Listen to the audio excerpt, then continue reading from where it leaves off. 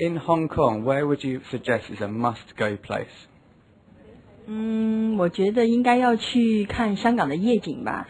呃，不管是在呃山顶还是在呃呃海边。Uh, what is your favourite Cantonese dish? 嗯，我喜欢吃玫瑰油鸡。